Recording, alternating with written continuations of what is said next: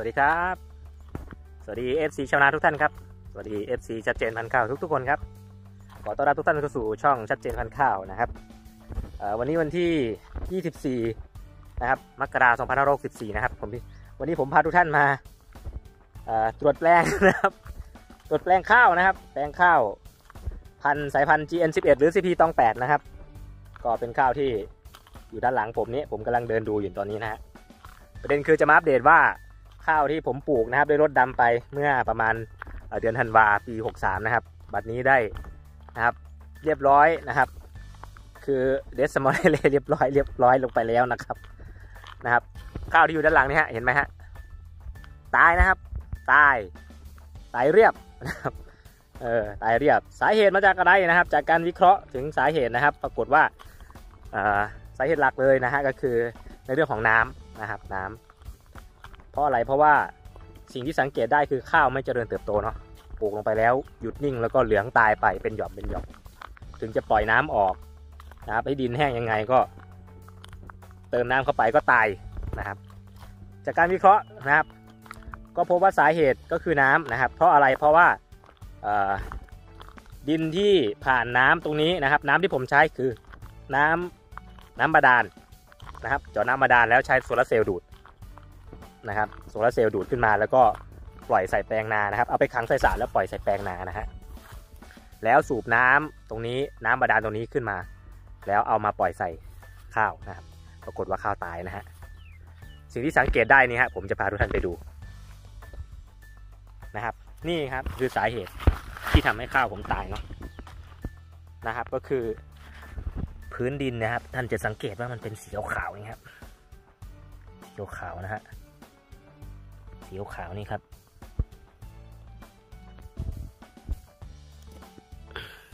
นี่ฮะดินสีขาวเลยนะฮะจากการวิเคราะห์และสืบสืบหาข้อมูลก็คือเกิดจากนะครับ น้ำกร่อยนะฮะนะครับ น้ำกร่อยนะครับเนี่ยฮะอันนี้คือคราบขี้เกลือนะฮะคลอไรด์นะครับ ที่ขึ้นมาจากน้ำเนาะก็มันก็เป็นปัญหา ที่ผมเพิ่งจะเจอเนาะปีแรก ปีนี้ไม่มีน้ำคลองนะครับ ก็เลยจะลองใช้น้ำบาดาลในการปลูกข้าวดูปรากฏว่า ข้าวที่ปลูกตายนะครับ เพราะว่าน้ำกร่อยนะครับนะครับ พื้นนาทั้งสังเกตเลยครับ พื้นนาที่เห็นจะเป็นสีขาวโพลนเลยนะฮะนะฮะแถบนี้ขาวล้วนๆไปเลยถึงสุดแปลงเลยนะฮะก็ทำให้ข้าวตายนะครับนะครับ ก็สังเกตมานะครับ ตอนนี้อายุข้าวก็ได้ประมาณเกือบ 2 เดือนแล้วนะฮะสเดือนแล้วล่ะนะฮะ ก็ไม่ไปไม่มานะครับนะฮะต้นข้าวผมครับพันจีนสิบเอ็ดก็ใบก็แห้งเหลืองนะครับ ตัวเขียวก็ไม่น่าจะโตนะฮะดูนี่ฮะข้างๆนี่คือขาวแบบนะคาบคลิกคาบคลิกเกลือ เห็นเห็นนะอันนี้ก็เป็นเนี่ยฮะสีแบบชัดเจนเลยนะฮะเอาซูมดูชัดๆเลยนะฮะนี่ฮะสีขาว ดินข้างล่างเป็นสีปกตินะฮะ แต่นี่คือเป็นสีขาว คราบขี้เกลือครับ น้ำบาดาลผมเป็นน้ำกร่อยนะฮะ ปลูกข้าวด้วยวิธีการดำไม่รอดนะครับ แต่ว่าปลูกพริกมะเขือมะเขือ ปลูกพริกมะเขือข้าวโพดนะครับ เขียวดีไม่มีปัญหาครับ แต่ว่าถ้าเจอข้าวกับอายุอายุสั้นๆเนาะ ข้าวต้นกล้าอายุน้อยนะครับ อายุใกล้แค่ยี่สิบวันแล้วก็ต้องขังน้ำอย่างเงี้ยฮะ ก็เลยไม่รอดนะฮะพืชอย่างอื่นคือรดแล้วก็ก็ปล่อยทิ้งไปนะฮะก็ดูดซึมไปลงใต้ดินไป แต่ว่าปลูกข้าวเราต้องขังน้ำบ้างเนาะพอขังน้ำปุ๊บข้าวผมก็ไม่เหลือฮะนี่ฮะก็เป็นข้อมูลเอามาแลกเปลี่ยนเนาะเนี่ยฮะเป็นคราบ เป็นคราบแบบนะชัดๆเลยนะฮะเนี่ยนะครับคราบที่เกลือชัดๆเลยนะครับเหลือแต่ หาแถบมาตรวจเนาะว่าน้ำที่เราใช้มันที่เราขังนะ่ะมันมันมีค่าคอไลน์เท่าไหร่เนาะ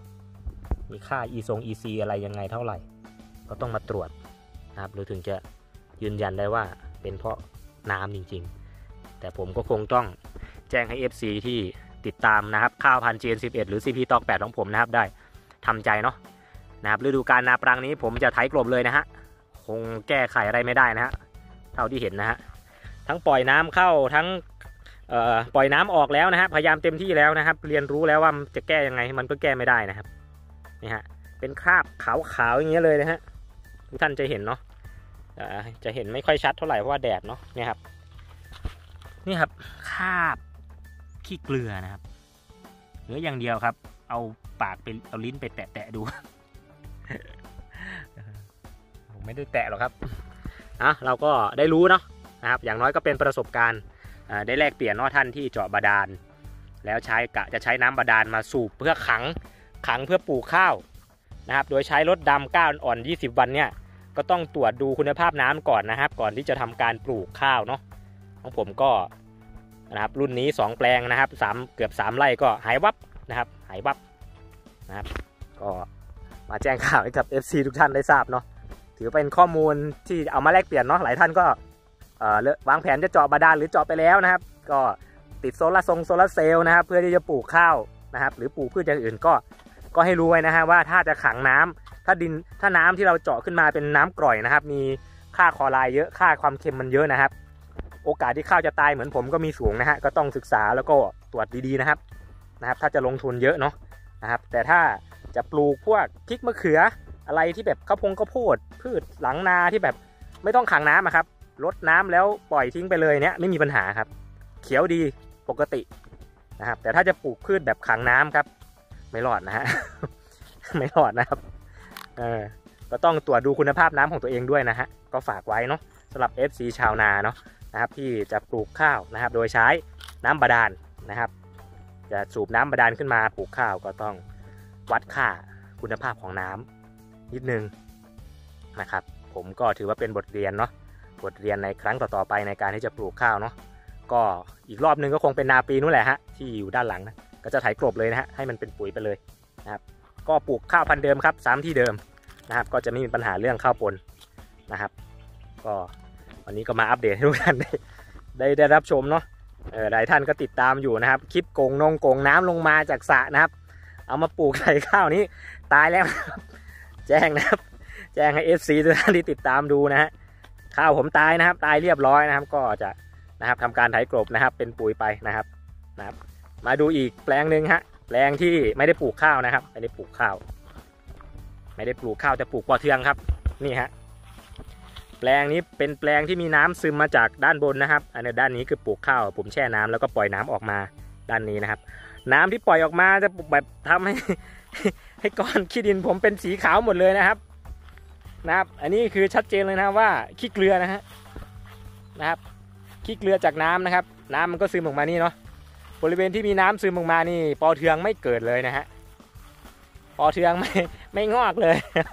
ส่วนไอ้ที่ไม่มีน้ำน้ำไม่ถึงก็จะงอกเต็มเลยนะครับ ครึ่งแกลงนะครับ นี่ฮะเอออะไรที่แบบต้นข้าวที่จะแบบจะงอกใหม่ๆ จะเกิดใหม่ ๆ ถ้าเจอน้ำกร่อยเข้าไปก็เรียบร้อยโรงเรียนจีนนะครับนะครับ อันนี้คือน้ำใต้ดินเนี่ยเป็นน้ำบาดาลเนาะเจาะลึกลงไปประมาณเกือบ 60 เมตรนะครับนะครับนะครับเกือบ60 เมตรนะฮะผมเจาะลงไปนะครับท่อ 6 นิ้วนะฮะใช้บะใช้โซลาร์เซลล์สีแผงดูดขึ้นมานะครับเนี่ยฮะเห็นไหมครับก้อนขาวๆอย่างเงี้ยโพลนเลยนะฮะเออถือว่าให้เป็นข้อมูลเป็นวิทยาทานนะครับ ท่านใดที่จะเจาะบาดาลและวางแผนจะปลูกข้าวเหมือนผมนะครับ ก็พิจารณานิดนึงนะฮะ อาจจะอาจจะได้มีปัญหาอาจจะมีปัญหาเหมือนผมก็ต้องนะครับ ตรวจค่าตรวจอะไรของน้ำให้ดีซะก่อนที่จะลงทุนที่เห็นอยู่นี่คือ ต้นพริกมะเขือผักนะครับมะเขือเทศนะครับ ที่ปลูกโดยใช้น้ำบาดาลรดนะครับ ถึงจะมีขี้เกลือขึ้นขาวๆอย่างนี้แต่ว่าผักเขาก็โตได้นะครับ เพราะว่าน้ำมันไม่ขังลดแล้วก็ซึมไปนะครับ มันก็โตดีนะครับ ช้ได้อยู่นะครับ แต่นี่ครับแปลงนานะครับ ที่ขังน้ำครับ มันก็จะได้ประมาณนี้นะฮะนะฮะนี่ฮะตายนะครับ ถ้าขังน้ำนี่ไม่รอดนะครับนะฮะเอาขึ้นมาลดต้นพริกนะครับ นี่พริกก็แต่กอเขียวดีนะครับเป็นหลุมเป็นหลุมนี่ครับลดด้วยน้ำบาดาลหมดนะครับ สังเกตนะครับ น้ำบาดาลลดจะเป็นร่องรอยสีขาวๆ นะครับ รอบรอบหลุม รอบรอบหลุมเลยนะครับ อันนี้ก็คือร่องรอยของขี้เกลือนะครับ เป็นเหมือนกันครับ แต่ว่ามันซึมหายไป มันไม่ได้ขังเหมือนข้าวนะครับเขาก็เลยไม่ตายเขาก็เลยอยู่ได้ไม่มีปัญหาอะไรกับเขานะฮะจะเห็นนะครับ รอบๆหลุมนี่จะเป็นขาวๆนี่ฮะขาวๆนี่คือน้ำที่ลดแล้วมันมันขังอยู่ตรงนี้นะพอมันแห้งไปมันก็เป็นคราบขาวเนาะนะครับ เป็นข้อพิสูจน์ว่าน้ำบาดาลผมเป็นน้ำกร่อยเนาะ นะครับเป็นน้ำกร่อย ชิมแล้วก็ไม่ได้เค็มนะครับ แต่ว่าค่าคอลายน่าจะค่อนข้างสูงพอสมควรนะครับนะครับนะครับนี่ครับขาวๆนะครับ คราบขาวๆนะครับ เป็นดอกนะครับ ก็มีให้เจอนะครับ แต่ว่าผักก็งามดีครับเนี่ยฮะผักชีเออไม่ได้โรยหน้านะครับ ผักชีเห็นเห็นๆนะครับ ก็อัปเดตนะครับ เจาะได้ครับบาดาลรดน้ำปลูกผักได้ไม่มีปัญหา ยกเว้นว่าขังน้ำเพื่อปลูกข้าว มีปัญหาแน่นอนนะครับ ถ้าเป็นน้ำกร่อยนะครับ โอเค วันนี้ก็ถือว่ามาเล่าสู่พี่น้องฟังเนาะ มาเล่าสู่พี่น้อง FC ชัดเจนพันข้าวได้ฟังนะครับ น้ำบาดาลถ้าเป็นน้ำกร่อยนะครับ มีค่าคอไรด์ที่มันสูงนะครับ ก้อนดินมันจะเป็นก้อนสีขาวๆเนี่ยเป็นคราบขี้เกลือเหมือนที่ท่านเห็นอยู่ด้านหลังผมนี้นะครับ ปลูกอะไรก็จะไม่งามนะครับ ถ้าจะขังน้ำนะครับ แต่ถ้าปลูกพริกมะเขือข้าวโพดนะครับ ปลูกแบบลดแล้วน้ำซึมหายเลยไม่มีปัญหาครับ แต่ถ้าปลูกขังแบบขังน้ำเหมือนปลูกข้าวอย่างเงี้ย ไม่รอด ยกเว้นว่ากล้าท่านแก่แล้วนะครับ ท่านแบบกล้าอายุ